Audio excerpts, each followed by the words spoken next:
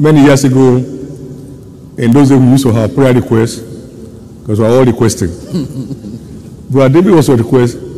Ah, Say, okay, just thank God for me. Hallelujah. Just thank God for me.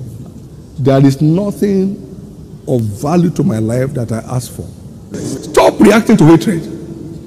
Face your maker. I was hated bitterly so. You read those stories in my biography. It's amazing the blessedness of hatred. Right guys, this is Philip Oladimeji. Welcome you to this YouTube channel. Be blessed by this video. Many years ago, in those days, we used to have prayer requests because we were all requesting. Brother David was a request. Ah, Say, okay, just thank God for me. Hallelujah. Just thank God for me. There is nothing of value to my life that I ask for. Blessed be God. What the agreement was that he will add them to me. Did not say you should come and ask me. Seek ye first the interest of my kingdom, and all these daughters are dying to get shall be added to you. I won't wait for you to come and ask for it.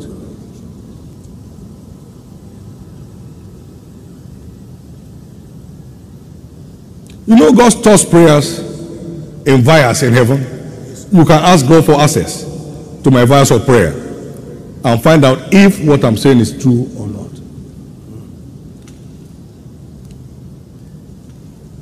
A heart panting after God. That's what we call a perfect heart. A heart panting after the interest of his kingdom. That's what we call a perfect heart. My son, give me your heart oh, and watch how I decorate your life. Proverbs 23 and verse 26. But the heart of man is deep and very wicked. Who can know it? I, the Lord, I saw the heart. I tried the reins to give to everyone according as his way shall be. So God searches our hearts, tries our reins to determine what becomes our portion. Serve Him from the heart. Thank you, Jesus.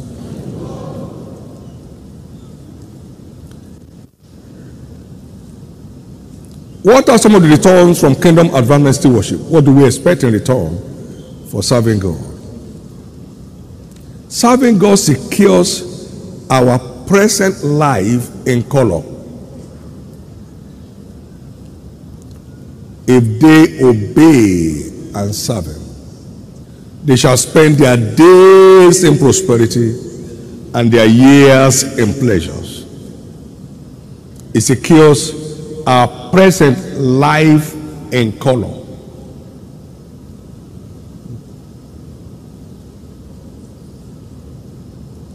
It beautifies our life in the present.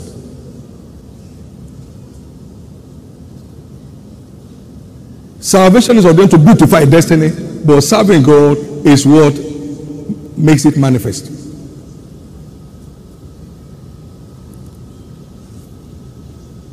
In Psalm 149, it will beautify the meek with salvation.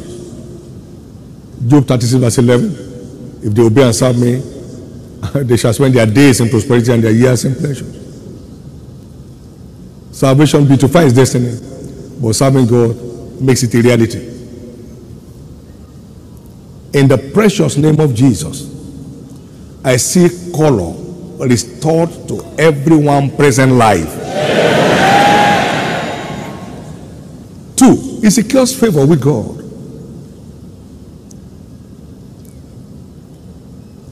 It secures favor with God. Psalm 35, verse 27. Let them shout for joy that favor my righteous cause. Yea, let them say continually, Let the Lord be magnified that taketh pleasure in the prosperity of his servants.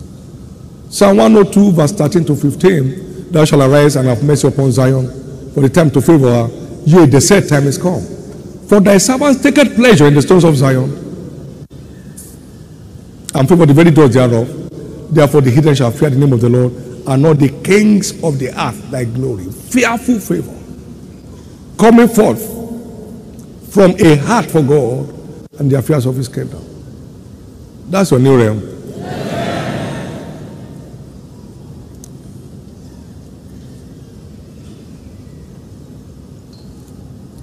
Confers joy and rejoicing.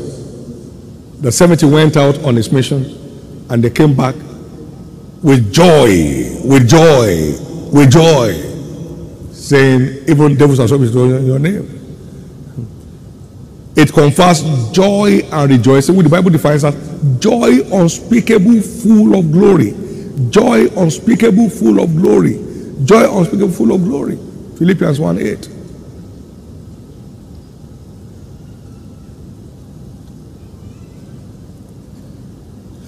If there's joy in heaven, over one, soul that depends.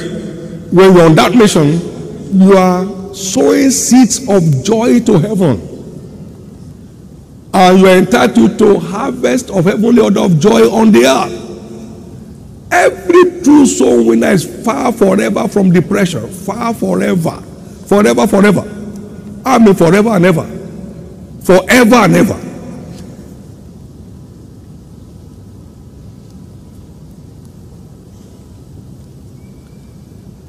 I was chatting with my sons yesterday at the what about um, art project on the subject of the blessedness of hatred. You know, blessedness of hatred.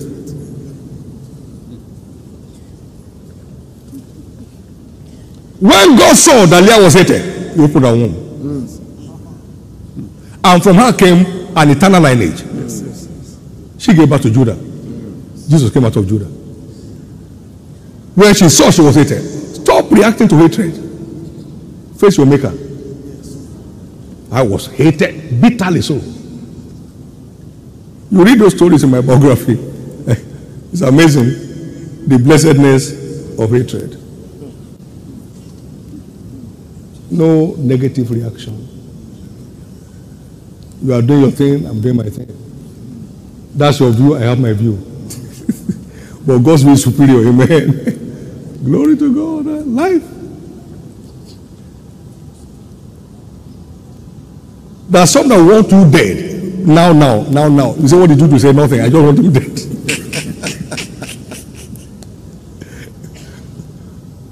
Amen. God opened her womb and she gave birth to four sons. How to make him Levi, the lineage of priesthood. Out of it came Judah, where David rose and where Christ came from. A return for hatred. Relax, my friend. Mockery is always the highway to his glory. Let them mock you so he can make you. Let them mock you so he can make you. Let them mock you so he can make you. Let them mock you so he can make you. All this self-reputation won't help you. Jesus made himself of no reputation. He was born of the Holy Ghost, not you and me, and are born of sinners. he knew what he came for. Came from the Father. But he made himself of no reputation. So what do you have, my friend? You are harassing anybody. what do you have? If you can see what God has in store for you, you know you have nothing yet. You have nothing yet, sir. You have nothing yet. Every used to trek barefooted with sandals in those days with the gospel, we flying over them today. You can only, if you can see what God has in store for you, you will humble yourself. Now, it's not enough to stay on God's side. It's important to remain there. Remain there, sir. Remain there. I was shouting yesterday on my reflections get serious with God and stay serious with God. All young men, get serious with God and stay serious with God. From the age of 16, I've been hearing from God and learning at His feet and responding accordingly. Get serious with God. All the junketing around the world won't change your story. No. Without me, you can do nothing. Settle with God, He will settle your affairs. Settle with God. Don't just jump. Look before you leap.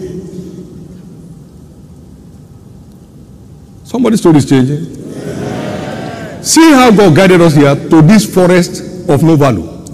See what is made out of it. By just being sold out to God and getting serious with God and whatever He says to do. It's your time for a change of story. Thanks for watching this video. I believe you were blessed by this video. Stay tuned for the next series. If you are yet to subscribe to this channel, please don't forget to do so.